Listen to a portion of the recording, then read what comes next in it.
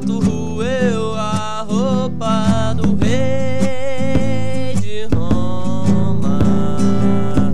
E agora o que eu faço pra ele parar de roer?